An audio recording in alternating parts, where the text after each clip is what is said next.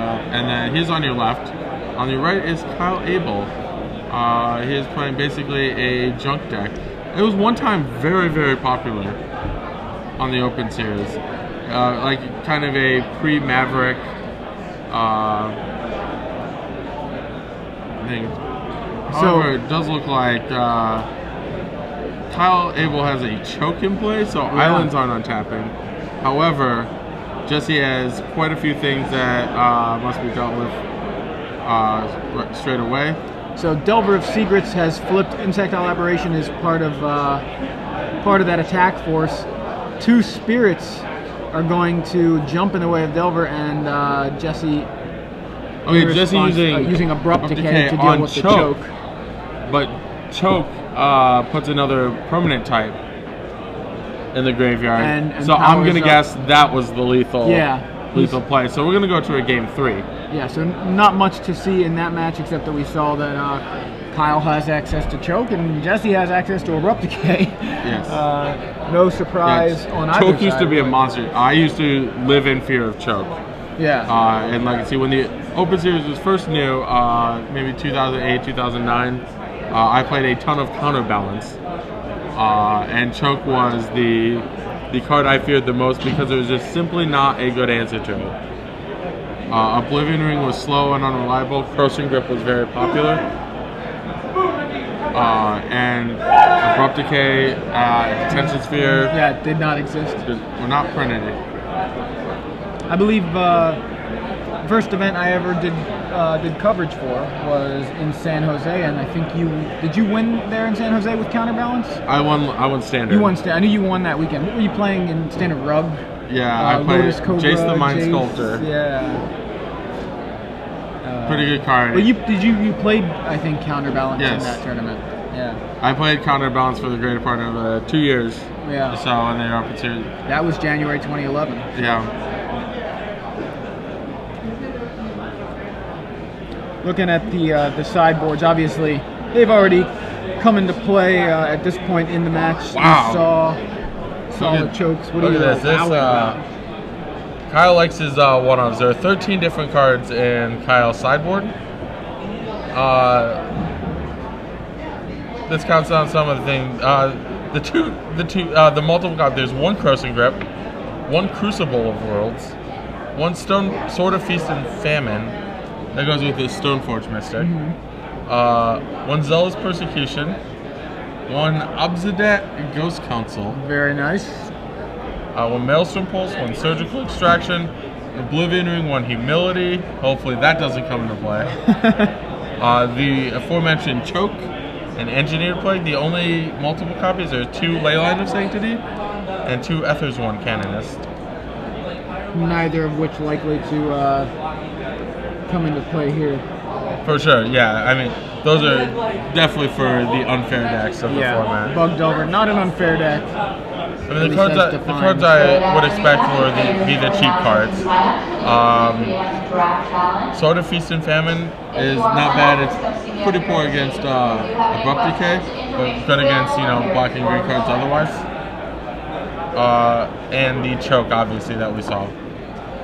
Uh, Yeah. Yeah, on Jesse's side, he's got three copies of Submerge that uh, don't really have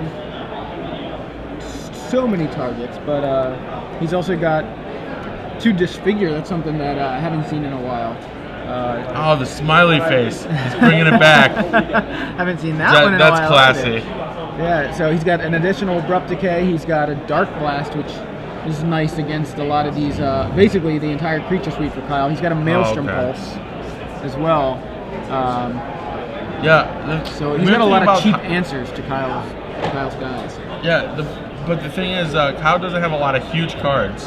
Right. So I think I think the submerge is probably un, less likely than uh, than the Yeah. dark blast, the abrupt decay. The, uh, he get the maelstrom pulse for like the the I guess the Batterskull. Uh, Oh, Lingering Souls tokens. and, uh, and lingering souls token. Yeah. But it, it's a nice catch-all. All right, again, so the- the Judge Foil Karakas uh, very nice.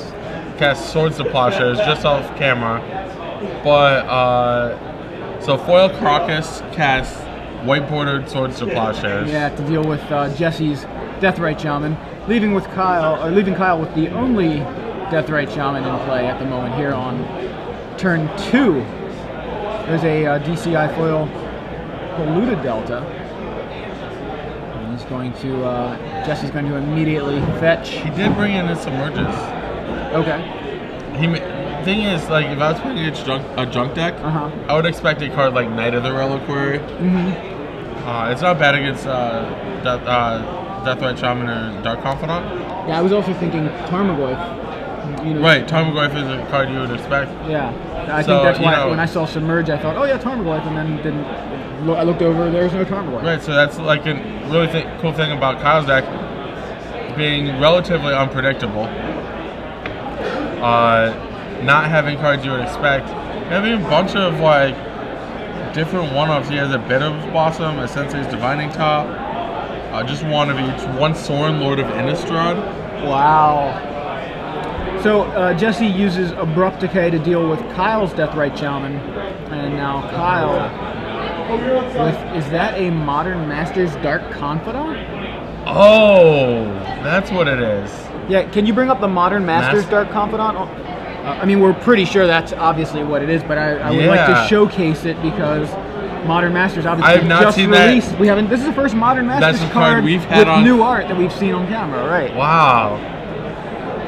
I was trying to figure out what that card was, and that's that's fantastic. Like Yeah, Set's been out uh, all of two days. Yeah, there it is. Dark Confidant, new artwork on uh, the Modern Masters version.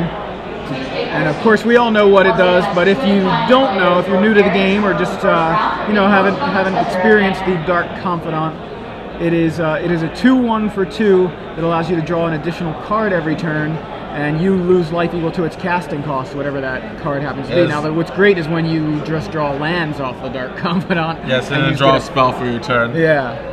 So Dark Confidant dealt with by Liliana of the Veil from Jesse Inman. So these guys are just making a mess and cleaning cleaning each other's messes up. That's all that's happening here. No, uh, no additional, no additional card off the Dark Confidant for Kyle Abell. So uh, Kyle's options are Abrupt Decay, Lingering Souls, and Sword of Feast and Famine. Looks like it. There's also one card I'm not sure. Uh, Here's the uh, Lingering Souls. souls.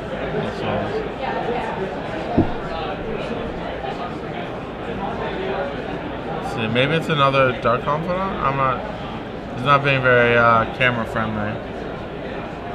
This card shuffling, but yeah, it is a black card, some variety. In Jesse's hand, we see a Tarmogoyf. Um, let's see what else we got. He's uh, quite a glare and, a, uh, Yes. and for his hand, not on the table. But. All right, he looks like he's going It to has an abrupt decay as well. cast the Tarmogoyf potentially.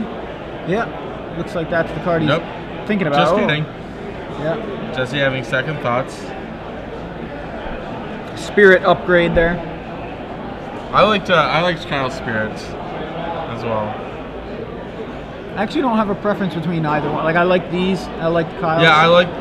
Well, these are these are very clear and obvious what you're using. Yeah. I always like using uh, some sort of official token or something with a at least with a printed power and toughness. So, Wasteland uh, from Jesse to deal with Kyle's dual land, and now he's going to follow that up with a Tarmogoyf. Liliana ticks up See, once again, I think Jesse should have started with the Liliana activation for the information. for See, the like, for the with withhold information. exactly right, right, right. Because So- now that Jesse wastelanded uh, the green source, Kyle's more likely to discard something like Abrupt Decay. Right.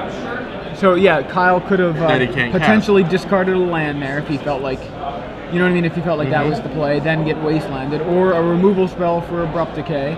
I mean, Yeah. for for Tarmogoyf, like abrupt decay. Some, you know, he making him choose So, the discard. Yeah, he early. discarded the Sword of Feast and Famine, which ended up being like the yeah. Once you if Kyle has a land, uh, if three lands, he can cast his sword, which is very good here. But if he doesn't have a land, it's it's not effective. Yeah. So he did draw into a land, but he has no access to green, so abrupt Right. decay is a uh, dead card.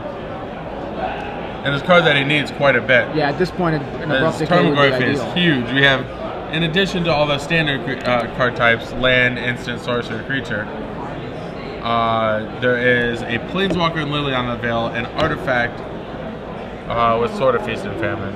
I believe that is a second copy of Dark Confidant for. Kyle Abell, it's hiding in the shadows. Wow! And a Golgari charm Wowza! from Jesse a little Inman. showboating, but gonna uh, clear Kyle's side charm. of the wood. That was a bonfire. High five. Yeah, that was, that was like a All right. bonfire, wasn't it? I mean, kinda. uh, Kyle Kyle gives Jesse the high five for Golgari You charming. know, I think he deserves it. I like it. Absolutely. Uh, and of course, there you see Golgari charm. If you haven't seen it in standard, So um, uh, plummets to a 5-6 for the turn. yeah, so good only call. deals is- five damage. Right, right. Uh, so But I think uh, it's, it's actually interesting how these charms actually have some impact in Legacy. Again, another well, they're so card. flexible, and you Right. need you want flexible cards that destroy each of the card types. Yeah, and so that, Uh, that easily dealt up. with the Yeah.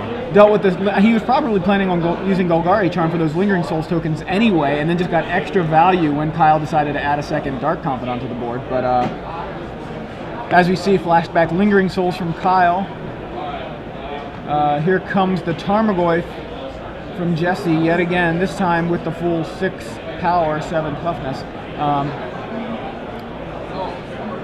just to clarify, did, is Kyle at 14 or 15? Because, like you said, that Tarmogoyf Yes. should have been. That is 15. Okay. I Good call. if I good could call. see Kyle's life pad correctly, he just uh, corrected it, Okay, so and then now he's deciding whether or not he wants to block this Tarmogoyf. right. Okay, so yeah, that Golgari charm didn't only affect Kyle's side of the board.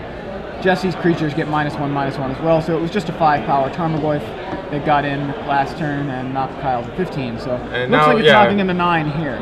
Yep. I think it looked like a life total uh, change. Yeah, that is a, that's a nine on screen. So Yeah, I can- Kyle, I can Kyle that, falls yeah. to nine.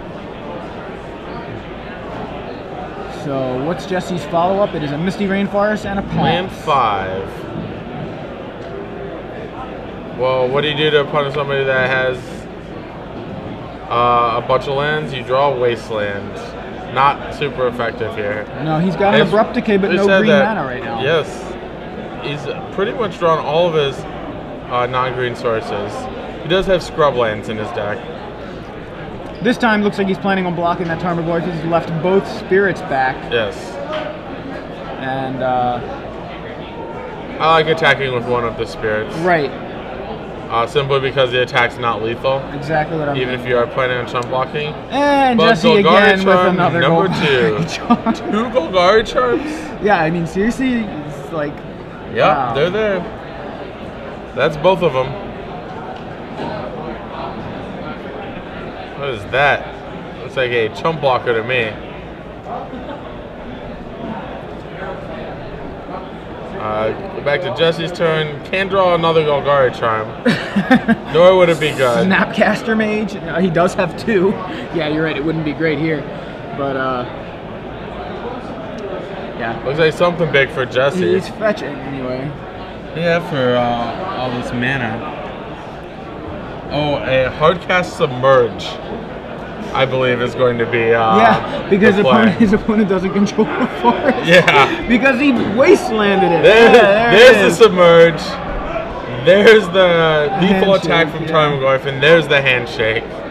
Jesse Inman wins as- two to one with some fantastic plays.